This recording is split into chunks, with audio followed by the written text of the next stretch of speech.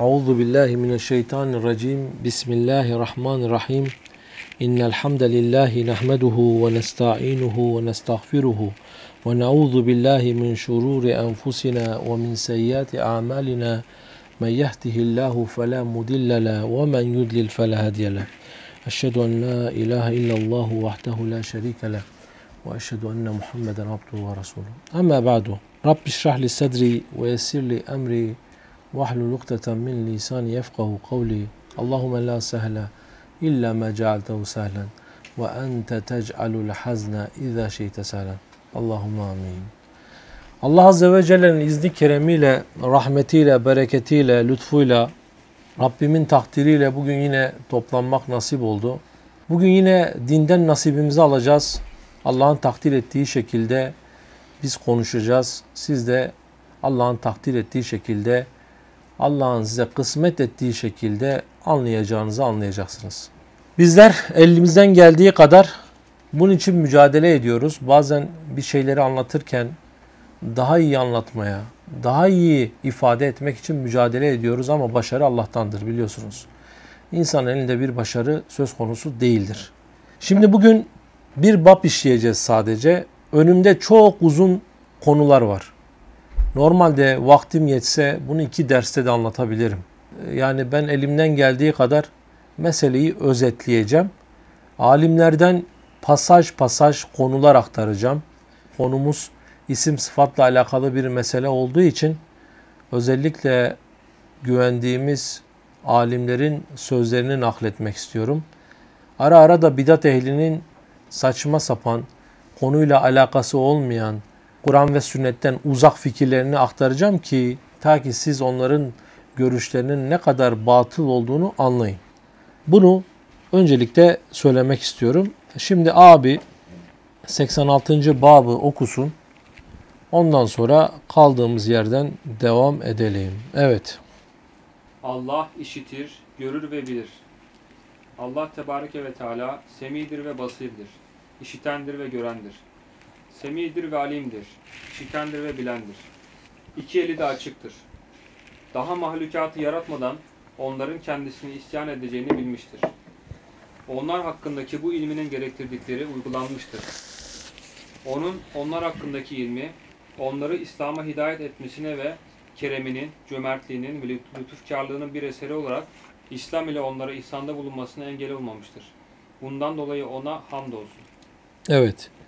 Dediğim gibi konumu özetleyebileceğim kadar özetleyeceğim. Elimden geldiği kadar ayetleri de özetleyeceğim. Sadece konuyla alakalı meseleyi nakledeceğim ki konumuz daha da kısalsın.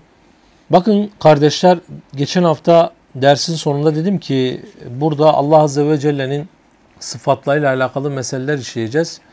Bunlardan bir tanesi Allah Azze ve Celle'nin işitmesi, görmesi, bilmesi ve Allah Azze ve Celle'nin iki elinin ispatıyla alakalı konulardan bahsedeceğiz. Şimdi özellikle Allah Azze ve Celle'nin bu sıfatlarıyla alakalı e, birkaç tane ayetten e, nakledeyim.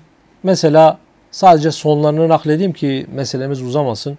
İnnallaha semi'un alim. Allah Azze ve Celle diyor ki muhakkak ki Allah semi'dir yani işitendir ve alim ve bilendir. Başka bir ayette Allah Azze ve Celle burada ilmini ispat ediyor. Vallahu bi kulli şeyin alim. Muhakkak ki Allah her şeyin ilmine sahiptir ve her şeyin ilmini bilir. Başka bir ayette Allah Azze ve Celle der ki İnnallaha semi'un basir. Bakın biraz önceki ayet semi'un alimdi. Bu semi'un basirdi. Buna da dikkat çekmek istiyorum. Şimdi bu üç ayeti biraz anlatayım. Ondan sonra meselemize geçelim. Kısaca. Şimdi cehmiler dediler ki Allah Azze ve Celle'nin işitmesinin manası onu bilmesidir dediler. Başka yerde de onun görmesidir dediler. Yani işitmeyi iptal ettiler. Neden iptal ettiler? Çünkü dediler ki işitmek eşittir kulak. O zaman haşa biz bunu kabul edemeyiz dediler. Daha gulat olanları Allah Azze ve Celle'nin göz sıfatını da inkar ettiler. Dediler ki Allah Azze ve Celle'yi gördü dersek göz sıfatını ona yakıştırmış oluruz. Olmaz. Onun görmesi bilmesi demektir dediler. Bilmesi demektir. Ve bu şekilde tevillere gittiler. Halbuki Allah Azze ve Celle'nin ayetlerinde çok açık bir şekilde Allah Azze ve Celle biraz önce söylediğim gibi muhakkak ki Allah işitir ve bilir. Yani ikisini ayrı zikrediyor. İşitir ve bilir. Yani beraber zikretmiyor. Allah Azze ve Celle iki şeyin arasını ayırdıysa bunun ayrı şeyler olduğunu, bu sıfatların ayrı sıfatlar olduğunu ortaya koymak içindir. Bu birincisi. Başka bir nokta ise Allah Azze ve Celle başka yerde Allah her şeyin ilmini bilir diyor. Başka bir yerde Allah Subhanahu ve Teala her şeyi işitir ve görür diyor. Bak burada da ayırdı. Onun için sen işitmeye görme, görmeye bilme diyemezsin. Ki bununla alakalı İbni Batta Cehmiye'nin görüşünü naklederken şunu naklediyor. Diyor ki Cehmiye onun işitmesinin manası görmesidir dedi. Allah Azze ve Celle kitabında onları yalanladı. Nasıl yalanladı? Allah Azze ve Celle Musa Aleyhisselam'a dedi ki korkmayın şüphesiz ki ben sizinle beraberim, işitirim ve görürüm dedi. Demek ki bunlar ikisi ayrı şey diyor İbn Battah. Böylece ikisini ayırdı diyor. Onların görmenin manasını bilme olduğunu söylemelerine gelince Allah Azze ve Celle bilme ile görmenin arasını ayırarak onları yalanlamıştır diyor. Yani bu istidlal bizim istidlalimiz değil. Alimlerin istidlali. Allah Azze ve Celle haşa boş söz söylemez. İki şeyi ard arda zikrettiyse demek ki orada iki tane ayrı bir sıfat vardır demişler. Çünkü Allah Azze ve Celle bizzat Musa Aleyhisselam'a bunu söylüyor. Ben seni işitiyorum ve görüyorum diyor. Bu işin yüzeysel boyutu. Başka bir ayet ise mesela elle alakalı ki bidat ehli Allah Azze ve Celle'nin iki elini inkar etti. Halbuki Allah Subhanahu ve Teala bunu söylerken Yahudilerin kıssasını bize naklediyor. Yedullahi magluletun. Yahudiler dediler ki Allah'ın eli mağluldür yani sıkıdır haşa. Allah Azze ve Celle burada onlara bir cevap veriyor. Diyor ki gullet eydihim. Onların eli bağlansın. Ve lu'inu bima kalu ve söylediklerinden dolayı Allah Azze ve Celle onları lanetledi diyor. Ancak burada Allah Subhanahu ve Teala onların söylediğinin yüzde yüz zıttını anlatmıyor. Diyor ki bel. Bel ne demekti? Bilakis. Yani onların söylediğinin zıttı. Neresi zıt olan tarafı neresi? Hemen Allah Azze ve Celle yedahu mebsutatani. Allah Azze ve Celle'nin iki eli de açıktır. Bakın eli kabul ediyor ancak açık olduğunu ve cömert olduğunu apaçık bir şekilde Allah subhanahu ve teala zaten ayetin devamında söylüyor. Çünkü diyor ki dilediği gibi infak eder. Allah azze ve celle böyle ayette bunu ispat ediyor. Şimdi bunların mantığına göre Allah azze ve celle'nin ne demesi lazımdı? Haşa Allah'ın eli yoktur demesi gerekiyordu bunların mantığına göre. Oysa Allah azze ve celle böyle demiyor. Allah azze ve celle elinin olduğunu kabul ediyor ancak onların yakıştırmasını kabul etmiyor. Hani Allah Azze ve Celle Subhanehu ve Teala Hristiyanlar ve müşrikler kendisine kötü yakıştırmalar yaptıkları zaman Allah Azze ve Celle kendisi hakkında söylenen şeyi reddediyor. Mesela onlar dediler ki İsa Allah'ın oğludur haşa. Meryem onun eşidir dedi haşa gibi böyle söylemlerde bulundular. Veya müşrikler Allah'ın kızlarının melekler olduğunu söyledikten sonra Allah Azze ve Celle burada bunu tamamıyla reddediyor. Nasıl reddediyor? Diyor ki kul huvallahu ahad. Değil mi? De ki Allah birdir. Allahu semed. Allah samettir. Lem yelit ve lem yulet. O doğmamıştır, doğurulmamıştır. Ve lem yekul lehu kufuven ahad. Diyerek Allah azze ve celle onların söylediklerini tamamıyla reddediyor.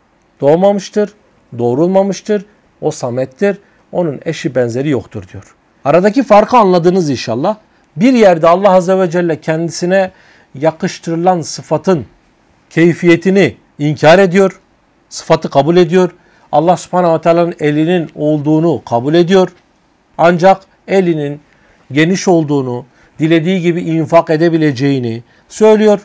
Burada ise müşriklerin söylediklerini tamamıyla reddediyor.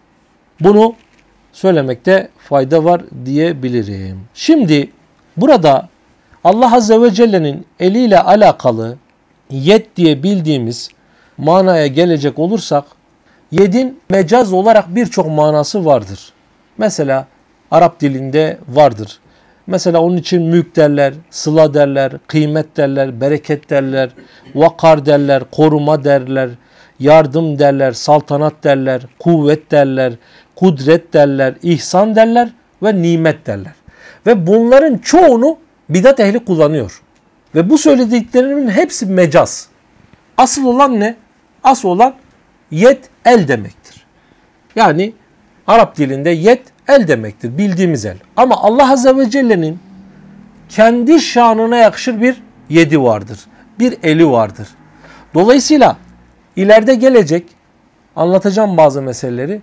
Her kelime mecaz olarak algılanır mı, algılanmaz mı? Kelamda as olan mecaz olması mıdır yoksa zahiri manası mıdır? Bunları konuşacağız. Mesele daha iyi anlaşılacak. Dolayısıyla burada İbni Huzeyme'den nakletmek istiyorum.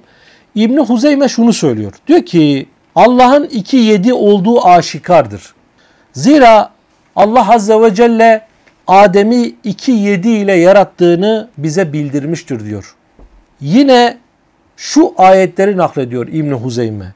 Ey iblis iki elimle yarattığıma secde etmekten seni men eden nedir? Veya Allah'ın eli onların eli üzerinedir. Veya hayır bilakis onun iki eli açıktır. Dilediği gibi verir. Veya her şeyin hükümranlığı elinde olan Allah'ın şanı yücedir. Siz yalnız ona döndürüleceksiniz. Veya dilediğini aziz edersin, dilediğini zelil edersin. Hayır senin elindedir. Veya görmezler mi? Kendi ellerimizle onlar için hayvanlar yarattık. Diyerek İbni Huzeyme diyor ki bu ayetlerde Allah Azze ve Celle iki yedinin olduğunu apaçık bir şekilde ifade ediyor. Ve devam ediyor. Diyor ki bununla beraber hadisler de var ki mesela Adem Aleyhisselam ile Musa Aleyhisselam arasında geçen konuşma. Biliyorsunuz Musa şöyle dedi diyor. Sen Allah'ın kendisini eliyle yarattığı, meleklerin secde ettirdiği, ruhundan üflediği, buyruğunu bildirdiği kişisin. Burada ne diyor? Apaçık bir şekilde iki peygamber kendi aralarında konuşurken Allah'ın kendisini eliyle yarattığı ifadesi apaçıktır diyor İbni Huzeyme. Veya şu hadisi naklediyor İbni Huzeyme. Siz temizinden bir hurma tasadduk ettiğinizde ki Allah temiz olandan başkasını kabul etmez.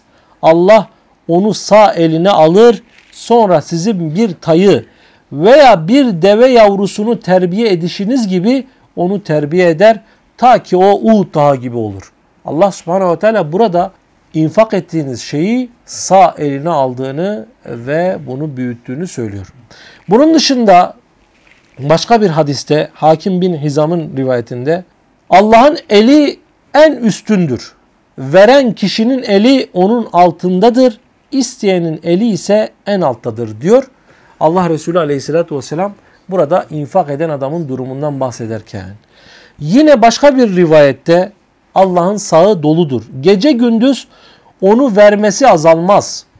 Yerin ve göklerin yaratıldığından beri infak ettiklerine bakın. Sağında olan hiç bitmez. Arşı su üzeredir. Diğer sağı kavramıştır. Alçaltır ve yükseltir. Burada yine sağ eli ne yapıyor? Sağ eli ispat ediyor. İbni Huzeyme işte bunları yorumlarken şunu söylüyor kardeşler. Yani bugün daha çok alimlerin yorumlarından bahsedeceğimiz için İbni Huzeyme diyor ki hadislerde geçen Allah Azze ve Celle'nin sağıyla dürmesi ve yet sıfatının nimet olarak anlaşılması şiddetle böyle bir şey olamaz diyor. Ve bu tevili cehmilerden başkası yapmaz diyor. Çünkü diyor ki kendisi şu ayeti naklettikten sonra Zümer 67 ve bununla beraber Peygamber aleyhissalatü vesselamla bir Yahudinin arasında geçen konuşmadan sonra kıyamet günü tüm yer onun avucu içindedir. Gökler de onun sağ elinde dürülmüştür. Zümer suresi 67. ayette Allah azze ve celle bu ayeti bize naklediyor. Zaten öncesinde ve ma kaderullaha hakka kadrihi. Onlar Rablerini gereği gibi takdir edemediler de diyor.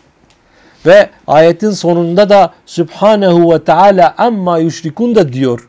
Yani Düşünün Rabbini gereği gibi değerlendiremeyen bir toplum ayetinin içinde hem Allah Azze ve Celle'nin eli kabzası var. Kıyamet günü hepsi onun avucunun içindedir meselesi var ve devamında Allah Azze ve Celle onlar Rablerini gereği gibi değerlendiremediler ve ayetin sonunda da Allah Azze ve Celle onların yakıştırmalarından uzaktır diyor. Çok önemli bir detay. Bunu bilmek lazım.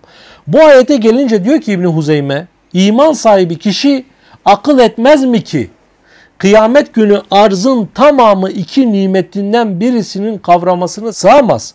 Göklerin tamamı da diğer nimeti tarafından dürülemez.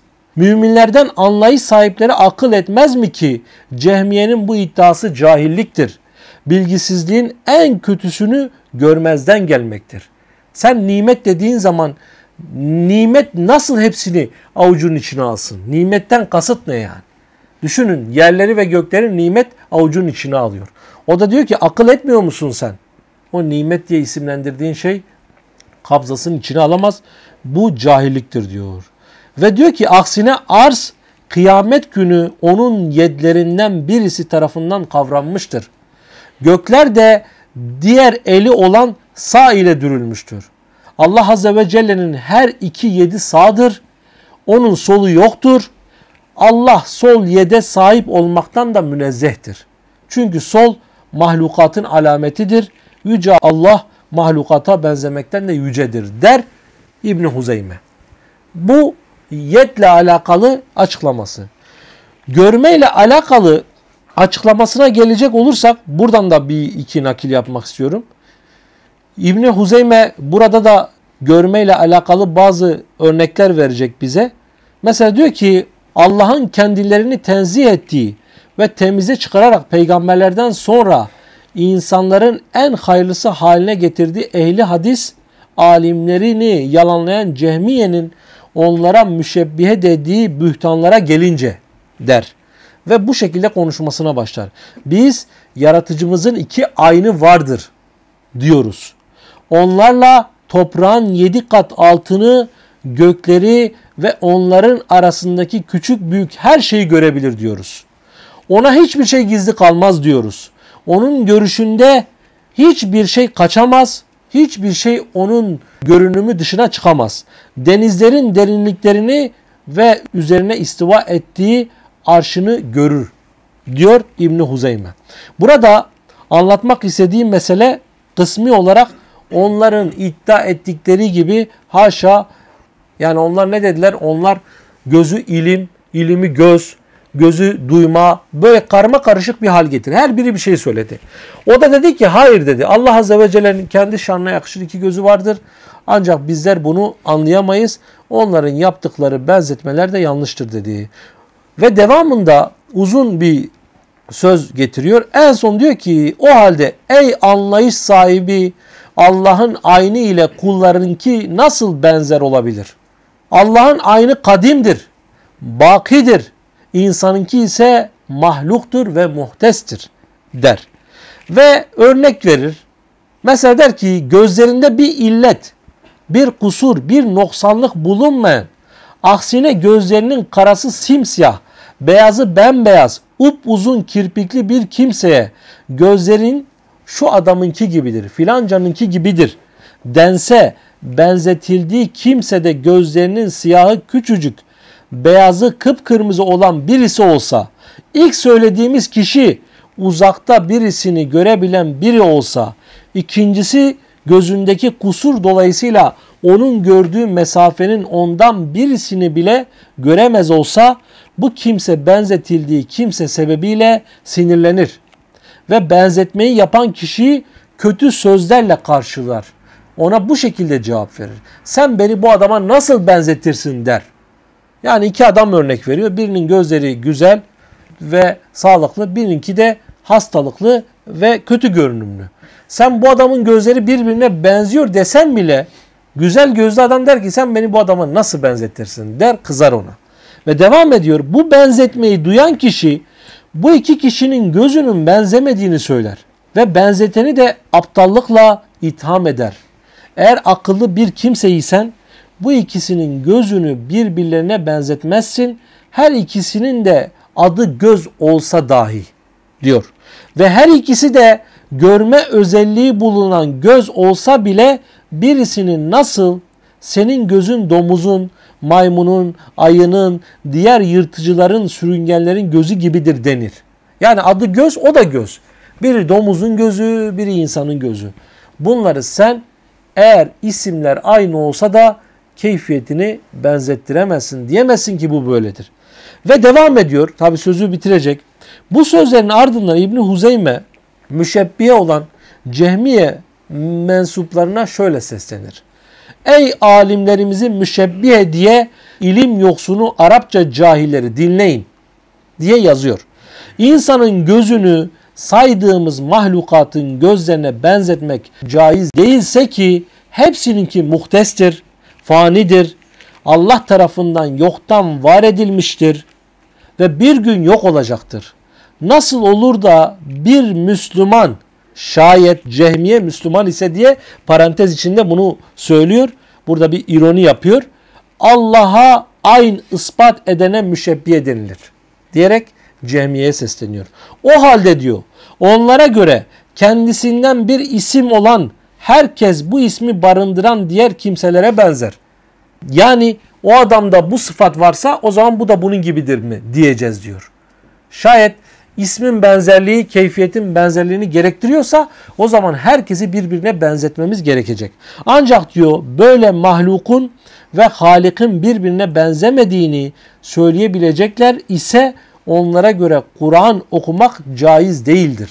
Allah'ın nefsini aynı yedi anlatan bütün ayetleri silmek ve sıfatullah konusunda Kur'an'da geçen her şeyi inkar etmek gerekir. Bunların mantığına göre. Çünkü Kur'an'da geçen bu sıfatların tamamını aynı Cehmin Safvan'ın Kur'an'ı eline alıp ah keşke bu ayeti kazıyabilsem demesi gibi. Sizin mantığınızda bu ayetlerin hepsinin iptal edilmesi ve kazınması gerekiyor diyor.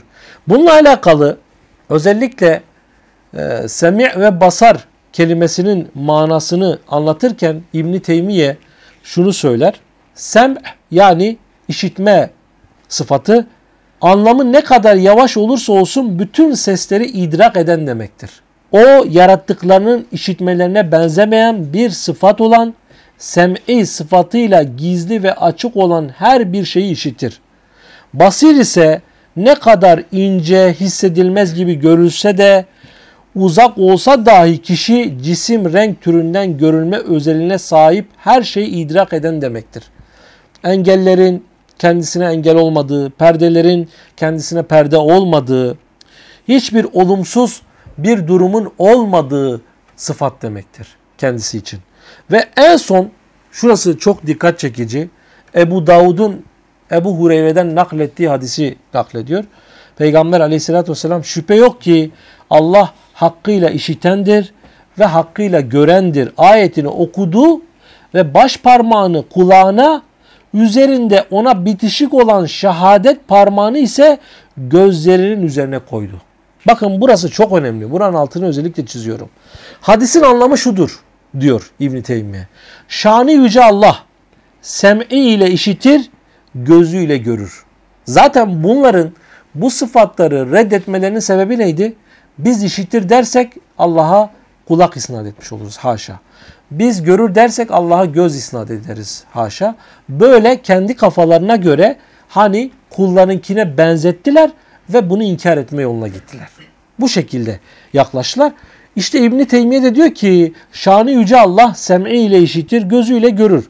Bu yüce Allah'ın sem'inin işitilen şeyleri bilmesi, basarını görülen şeyleri ise bilmesi diye yorumlayan Eş'ari mezhebine mensup bir takım kimselere karşı delildir diyor. Çünkü Eş'ariler ne dediler? Yani işitmek demek görmek demektir dediler. Başkaları da görmek demek bilmek demektir dediler. Böyle katıp karıştırdılar. O da diyor ki bu onlara cevaptır diyor bu hadis. Ve bu hatalı bir yorumdur diyor. Çünkü diyor kör olan bir kimse semanın varlığını bilir ancak semayı göremez. Sağır olan bir kimse seslerin varlığını bilir fakat o sesleri işitemez diyor. Bu şekilde gider. Burada İbni Huzeyme'nin yine işitmeyle ve görmeyle alakalı bir delilini nakletmek istiyorum. Diyor ki İbn Huzeyme burası yine çok önemli. Muattılla Allah'ın sem'i ve basar sıfatlarını nefy ederek onu duymaz ve görmez bir varlık saymakta. Yaratıcıyı böyle vasıflandırarak haşa putlara ve hayvanlara benzettiler. Haşa. Allah kullarına benzemekten münezzehtir diyor ve elbette Allah'ın işitmesi kullarınki gibi değildir diyor. İbni Huzeyme lafızlar aynı olsa da her iki işitmenin manası farklıdır diyor. Ve akabinde Musa aleyhisselam ile Firavun'un kıssasını delil getiriyor. Mesela daha önce bu meseleyi naklettik. Kale la tehafe inneni ma'akuma esma ve ara dedi. Yani ben sizinle beraberim, işitirim ve görürüm dedi. Burada İbni Huzeyme diyor ki bu ayet çok açık bir delildir ki Allah Azze ve Celle işitmeyi ve görmeyi ayırıyor. Başka bir delil ise İbrahim Aleyhisselam ile babası arasında geçen konuşma. Burası çok can alıcı. Gerçekten yani bidat ehlini iyice sıkıştıracak bir delildir diyebiliriz. Çünkü bunlar kendi aralarında konuşunca biliyorsunuz Allah Azze ve Celle İbrahim Aleyhisselam ile babasının arasındaki konuşmayı bize naklediyor ki İskale li ebihi kendi babasına dedi ki ya ebeti lima ta'budu ma la yesma'u ve la yubsiru ve la yugni anke şey'en diyor. Ey babacığım işitmeyen, görmeyen ve sana faydası olmayan şeylere niçin tapıyorsun dedi. Tabi burada can alıcı nokta burası. İbrahim Aleyhisselam putların işitmeyeceğini, görmeyeceğini, fayda vermeyeceğini apaçık söylüyor. Burada dikkat edecek nokta şudur. İbrahim'in babası demiyor.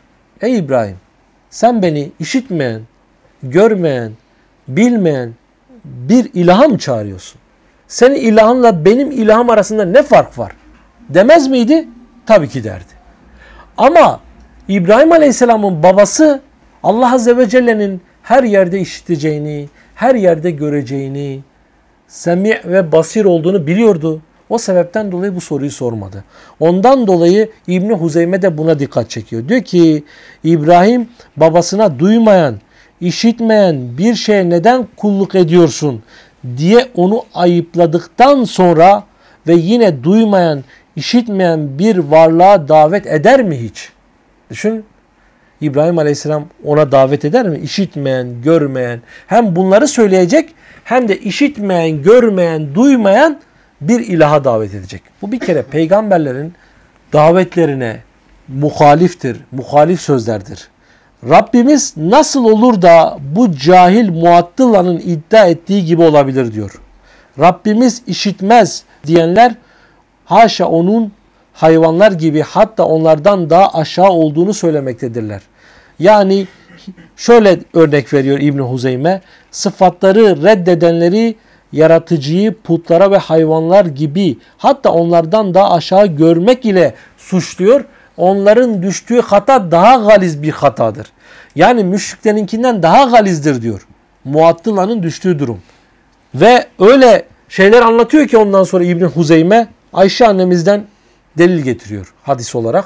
Allah Azze ve Celle'nin her yerde işiteceğine dair Taif dönüşü biliyorsunuz Peygamber aleyhissalatü vesselam dönüş yolundayken kendisini Taif halkı reddetti.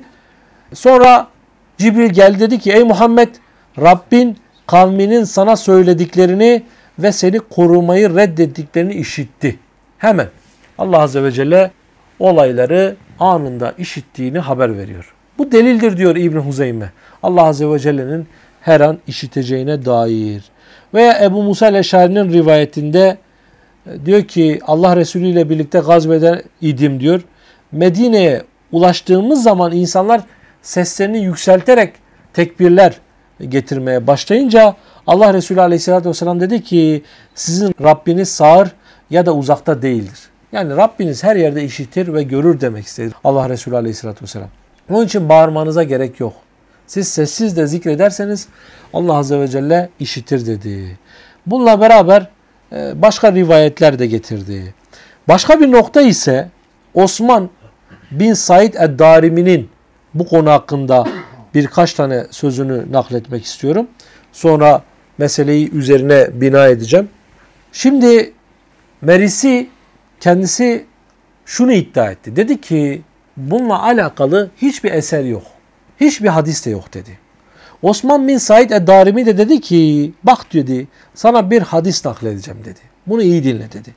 Diyor ki kendisi Cabir'den şöyle dediğini tahdis ederken işittim. Nebi sallallahu aleyhi ve selleme gittim ve selam üzerine olsun dedim. Senin de dedi sonra şöyle buyurdu. Sizden öncekilerden bir adam kendisine ait iki elbise giyip onların içinde çalım satarak yürüdü. Allah ona arşının yukarısından bakıp ona öfkelendi. Nereden bakıyor? Allah Azze ve Celle arşının üzerinde ona bakıyor ve öfkeleniyor. Sonra hadis uzun. Osman bin Said Daribi diyor ki gör bunları ey Merisi. Bu konuda Peygamber aleyhissalatu vesselam'dan ya da başkasından gelen bir eserin olmadığını cahilce iddia etmenden sonra bunları sana aleyhissalatu vesselam'dan rivayetle sahih olarak getiriyorum. Gör.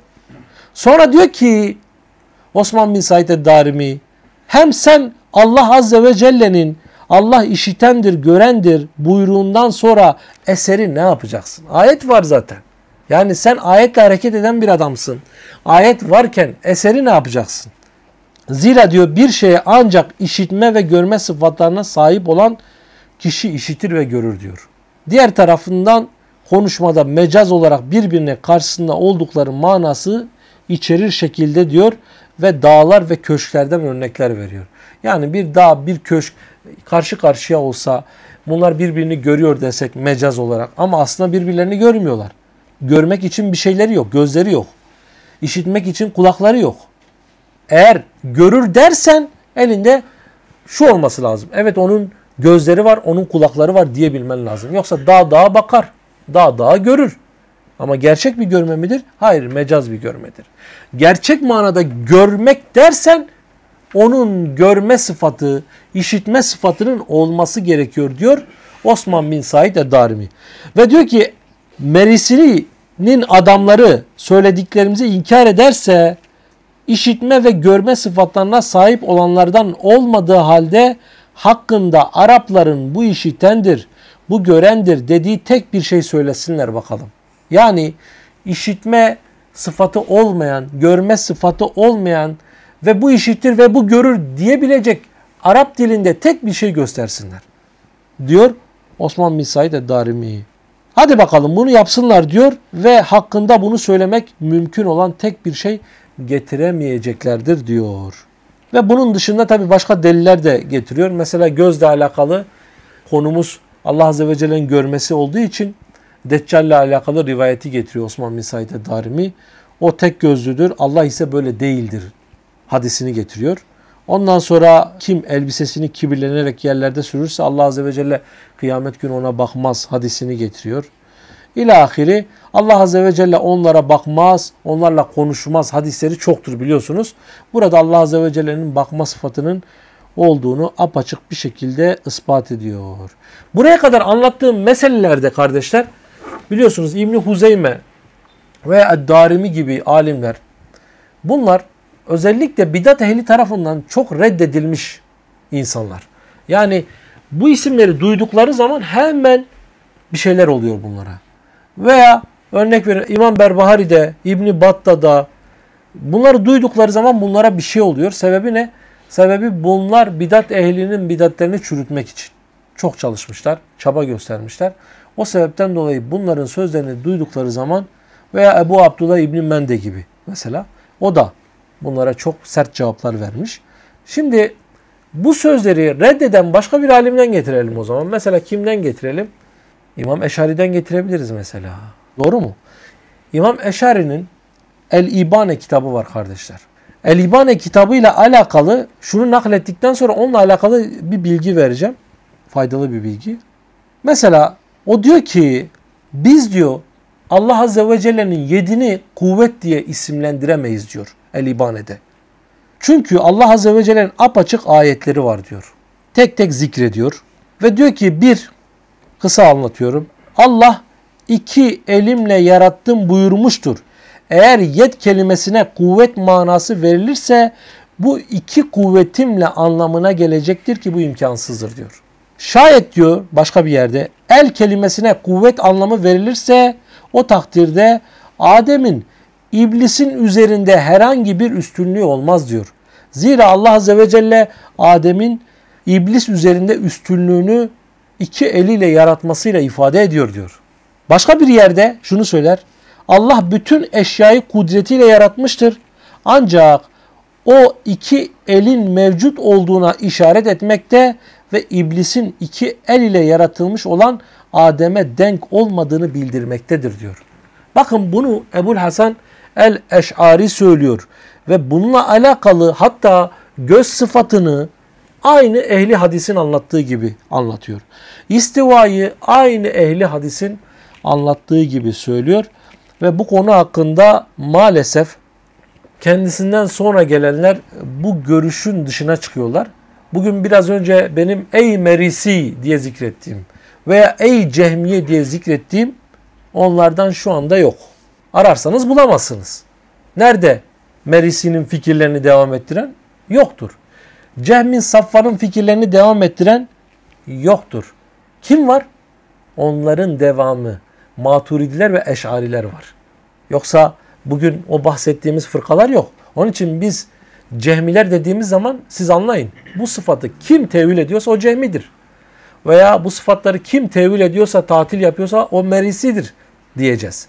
O sebepten dolayı El-İbane'de geçen bu sıfatların ispatı ve kuvvet diye, nimet diye adlandırılmasının reddedilmesi çok önemli bir noktadır. Burada gözün yine aynı şekilde Arap lügatında neyse o şekilde algılanması çok önemli bir noktadır.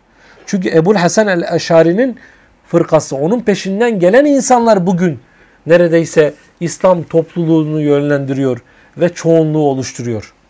Onun için onunla alakalı biraz bilgi vermek istiyorum ki çünkü sonradan gelenler maalesef cahiller diyebilirim bunlara ki cahildir. Selefin akidesinin selametli olduğunu, halefin akidesinin ise daha hikmetli ve daha ilmi olduğunu söylediler. Halbuki bunu akıl sahibi hiç kimse kabul etmez.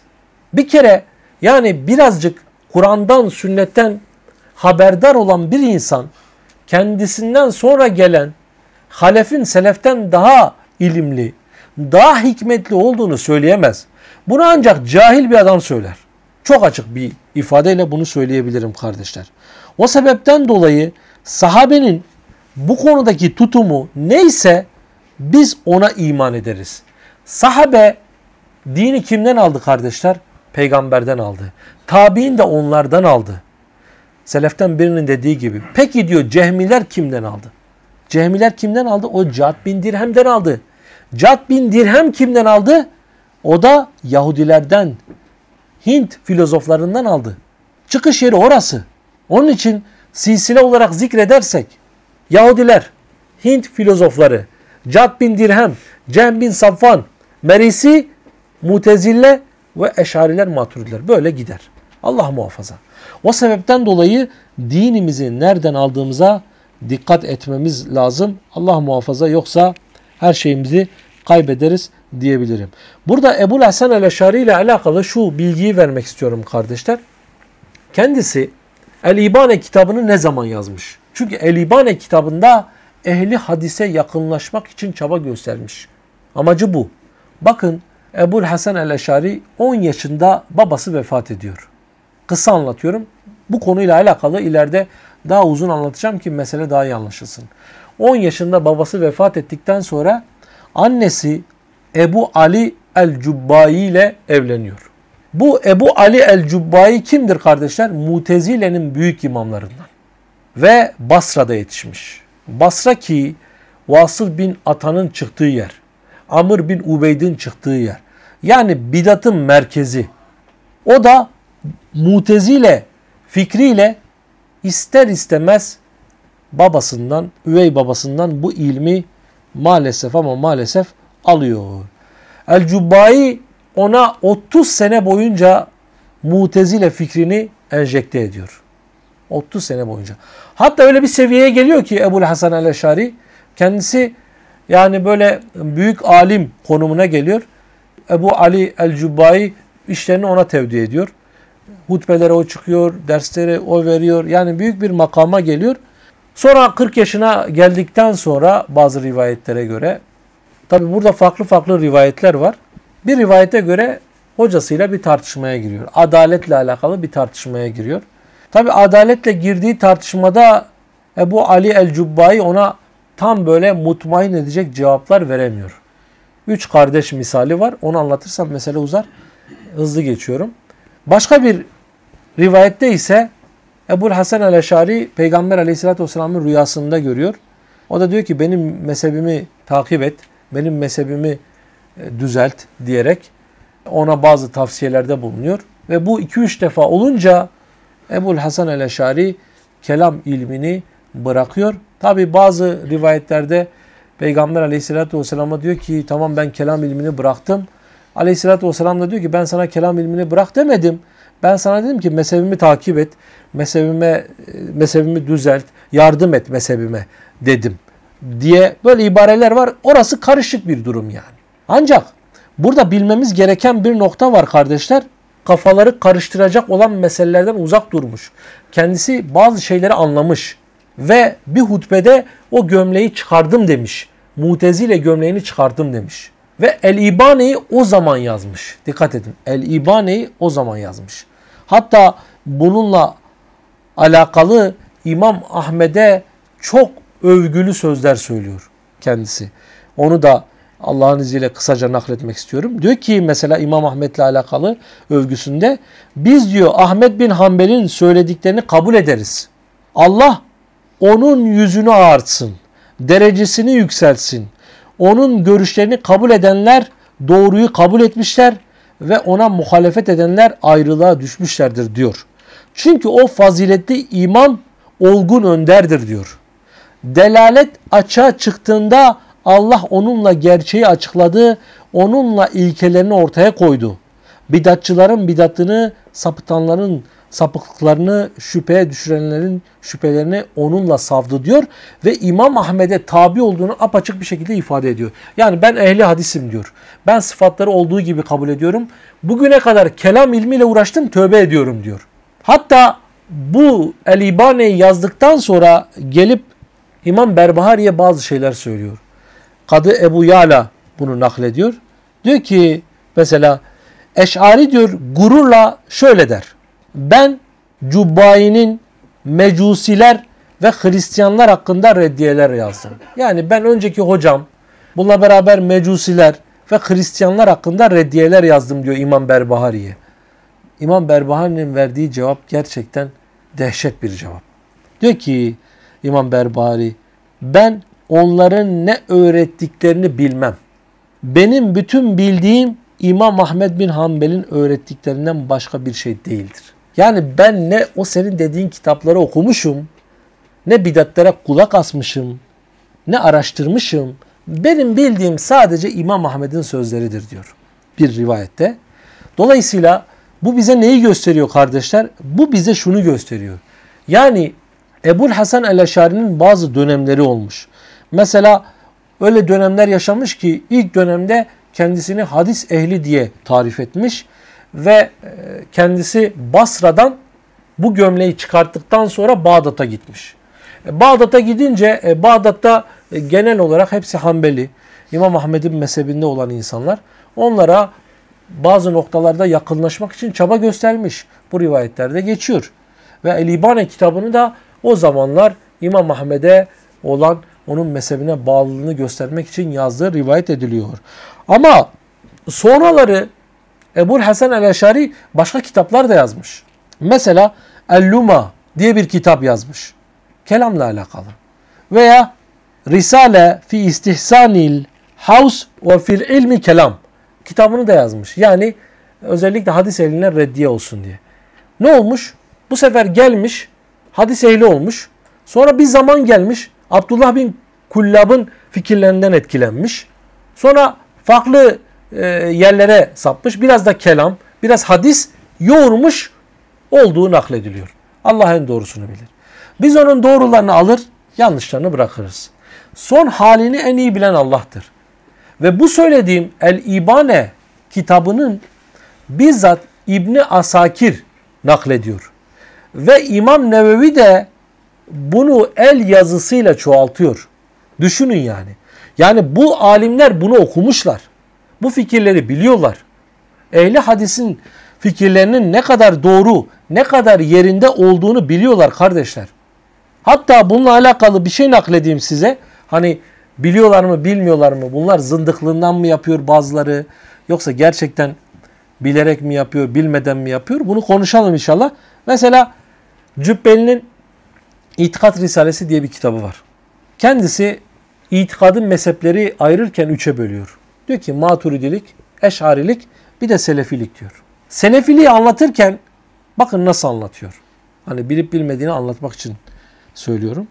Diyor ki ashab-ı kiram ve tabiinin mezhebini kendilerine mezhep edinmiş fakihler ve fıkıh alimleri ve muhaddislerdir bunlar. Bunlar Allah Azze ve Celle'nin isimlerini, sıfatlarını ayet ve hadislerde beyan edildiği üzere Allah Azze ve Celle'nin şanına uygun bir şekilde ispat edip tevhile, yoruma kalkmadan, kalkışmadan yapanlardır. Olduğu gibi kabul edenlerdir. Mesela diyor Ebu Hureyre'nin rivayetini naklediyor. Gecenin son üçte biri kaldığı zaman Allah Azze ve Celle her gece dünya semasına iner. Bana kim dua eder ki onun duasına icabet edeyim? Kim benden bir şey ister ki istediğini vereyim? Kim benden mağfiret diler ki ona mağfirette bulunayım der ve der ki selef mezhebi bu hadis-i şerifte geçen Rabbimiz iner sözünü hakiki manasından başka bir mana ile tevil etmeyip Rabbimiz keyfiyetini, şeklini bilmediğimiz bir halde iner. Diyerek bu inişi Allah Azze ve Celle'nin şanına yakışır bir şekilde ifade etmiştir. Yine böylece ayet ve hadislerde Allah Azze ve Celle'ye isnat edilen el, yüz, ayak gibi ifadeler de bu kabildendir diyor. Cübbeli benim itikadımı iyi biliyor. Demek ki bu kafir, bu zındık bazı şeyleri bile bile yapıyor.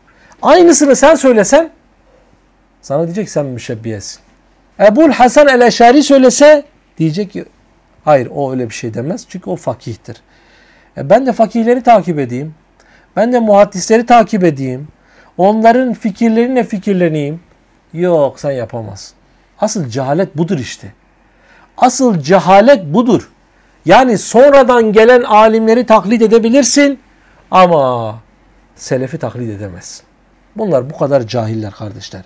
O sebepten dolayı İmam Eş'ari iyisiyle, kötüsüyle, yaptıklarıyla, doğru kitaplarıyla, yanlış kitaplarıyla bunu şu anda ölçecek ne zamanımız var ne de e, anlatacak vaktimiz var.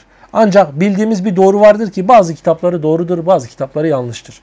Hangi kitap üzere öldüyse, hangi itikat üzere öldüyse Allah Azze ve Celle ona o şekilde muamele edecektir. Biz bu konu hakkında zaten çok konuşup da meseleyi e, değiştirmeye gerek yok. Ancak kendisi bu fikirde olduktan sonra eşariliği devam eden bazı alimler var. Mesela daha önce anlattığım Bakillani gibi alimler. Hicri 400'lerde e, vefat etmiş mesela. İbn Furak gibi, Cüveyni gibi, Gazali gibi, Şehristani gibi, Amidi gibi, Fahrettin Razi gibi, Kadı Beyzavi gibi, Taftezani gibi, Curcani gibi bunlar Eş'ari mezhebini çok geniş kitlelere ulaştırmışlar. Yani bu yanlış mezhebi birçok yere ulaştırmışlar. Maalesef selefin yolundan insanları ayrılmışlar diyebiliriz. O sebepten dolayı diyeceğiz ki bu mezhepler yanlıştır. Bunlardan uzak durmak gerekiyor.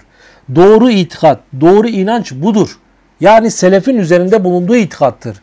Allah Azze ve Celle kafirlerin diliyle, müşriklerin diliyle, bidatçıların diliyle söylemesine rağmen insan nasıl olur da gider kafirlerin, müşriklerin, bidatçıların, filozofların, mecusilerin, Cad bin Dirhem gibi, Merisi gibi, Cehmin Safvan gibi adamların yolunu takip eder. kendisi Ebul Hasan el-Eşari bu cehmiyenin itikadıdır. Bizzat El-İbane'de söylüyor. Bunu söyleyen cehmiyedir diyor.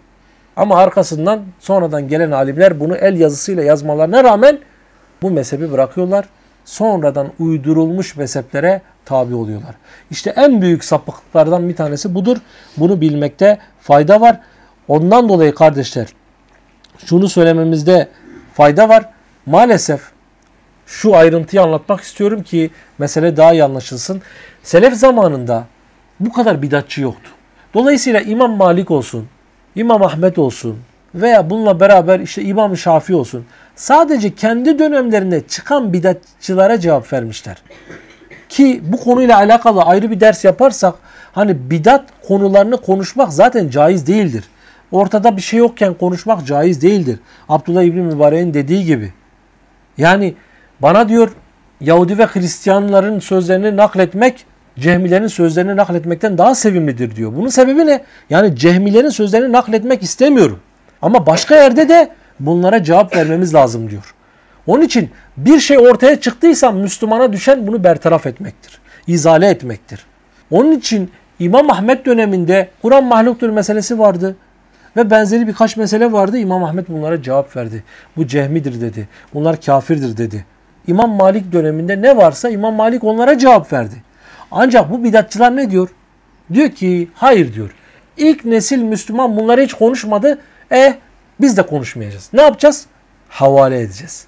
Zaten havale etmek o başka bir bidat. O başka bir işlevsizlik. Allah'ın sıfatlarını işlevsiz bir hale getirmek. O başka bir problem. Onu yeri gelince anlatacağız. Ancak şunu bilmemiz lazım kardeşler. Mesela Ebu Abdullah İbni Mende cevap vermiş bunlara. İbni Huzeyme cevap vermiş. Ebu Said Ed-Darimi cevap vermiş. İmam Berbahari cevap vermiş. İbni Teymiye cevap vermiş. Bunlar cevap vermişler. Bunlar müşebbiye olmakla suçlanmışlar. Halbuki bunlar müşebbiye ile alakası yok. Biraz önce naklettiğim şeyler selefin itikadı, selefin inancı.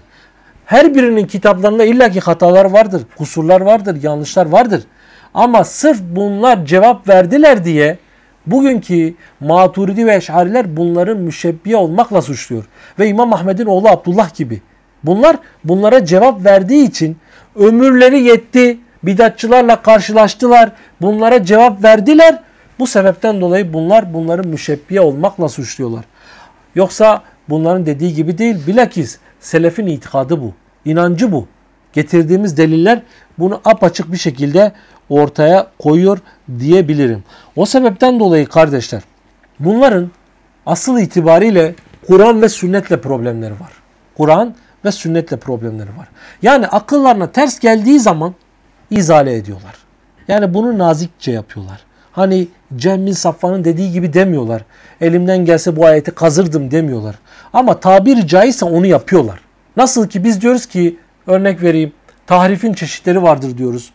Bugün Kur'an'ı tarif edemezler zahiri olarak ama manasını tarif edebilirler. Hah işte bu da Kur'an'ı kazımak misali. Ayeti kaldırmak, iptal etmek misali. Allah Azze ve Celle'nin sıfatlarını iptal etmek misali bunu yapıyorlar. Sadece problem hadis değil kardeşler. Ayetten bunu yapıyorlar. Yani ayet varken sana ne oluyor? Sen bana diyorsun ki eser nerede? Eser. Hadis nerede? Hadis. Çok açık ayetler var. Ama onlar bunu da kabul etmemişler. Bunu da kabul etmemişler. Şunu da ayrıntı olarak söylemek istiyorum ki bakın hani hep anlatıyoruz. Diyoruz ki ölçü akıl olursa kişinin yolu cehmin safanın yolu olur. Ölçü akıl olursa Allah muhafaza adamın gideceği yer cehennem olur. Ölçü akıl olursa asıl insan o zaman teşbihe düşer. Ayetleri, hadisleri akıl terazisine koyarsak kaybedenlerden oluruz. Bakın bu sözümün altını özellikle çizin, söylüyorum. En zayıf hadis bile tarihi metinlerden daha güçlüdür ve güvenilirdir. En zayıf hadisi nakleden raviler vardır. Ama tarihi nakleden raviler yoktur. Bakın bu bidatçılar, bu kafirler, bu zındıklar tarihten naklederler. Ona güvenirler, onu anlatırlar ama sayı hadisle bile amel etmezler. Bu kadar kafirler. Onun için bunların problemleri Kur'an ve sünnetle. Cem bin Safvan'ın geçen hafta verdiğim örneği bu sebepten dolayıdır. Yani ellerinden gelseler o ayeti iptal ederler. Örnek verecek olursak köle meselesi, cariye meselesi, savaş, cihat meselesi. Bunların her birini bugünkü mutezile kafalar böyle kazımak istiyorlar, kaldırmak istiyorlar. Allah nasıl böyle der diyorlar haşa. Onun için bunlarda teslimiyet yok. Bunlarda Müslümanlık yok. Bunlar günümüz modern zamana uydurmaya çalışıyorlar. Uyarsa uyar, uymazsa yapacak bir şey yok. Mantığıyla yaklaşıyorlar. Onun için bidat ehlinin ekserisi genel olarak bu kafada. Genel olarak bu kafada. Bunu söylemekte fayda var. Bununla beraber şunu nakletmek istiyorum. Ondan sonra bitireceğim. Hakkınızı helal edin. Bakın dediğimi delillendirmek için söylüyorum. Fahrettin Razi'nin bir sözü var. Bakın sıfat ayetlerini yorumuyla alakalı bazı tenkitlerde bulunuyor. Ehli hadisin yolunu tenkit ediyor. Esasetu Takdis kitabında ve Tefsirü Kebir'de de geçiyor bu sözler. Bakın sapıklığa bakın Allah muhafaza. Diyor ki Kur'an'da yüz, yan ve ayak organları tekil halde, göz tekil ve çoğul halde, el ise tekil, ikil ve çoğul halde Allah'a nispet edilmektedir. Eğer bunları zahirde olduğu gibi kabul etsek bir yüzü, bu yüzde birçok gözü, tek bir yanı ve o yanda birçok eli ve bir ayağı olan bir şahıs tasavvur etmemiz gerekir diyor. Dünyada bundan daha çirkin bir kişi yoktur diyor. Haşa. Akıllı bir kimse Rabbini bu şekilde nitelendirilemez diyor. Söylediğine bakar mısınız? Bakın öyle bir yakıştırma yapıyor ki Allah muhafaza. Bir kere teşbih yapıyor. Tasavvur ediyor Allah'ı Azze ve Celle'yi. Bir de söyledikleri sözlerin her birine İbnül Kayyum cevaplar vermiş. Yani Arapçadan uzak bir yorum yapmış. Arapçadan uzak bir yorum yapmış. Yanlış yaklaşmış. Cahilce yaklaşmış. Allah Azze ve Celle'yi gereği gibi takdir edememiş. Ve bu tür manayı vermiş. E şimdi böyle adamlar bugün işte tefsirin imamı diye nitelendiriliyor. Ve Allah Azze ve Celle hakkında tekifte bulunuyor. Çok açık ifadeler de tekifte bulunuyor. Biz ne dedik? Biz dedik ki Allah hakkında sen tasavvurda bulunamazsın. Haşa sen Allah Azze ve Celle'nin sıfatları hakkında şuna benziyor, buna benziyor, haşa kula benziyor diyemezsin. Sana düşen nedir? Sana düşen sıfatları ispat edip iman etmektir. Yoksa düşünüp tefekkür etmek demek değildir.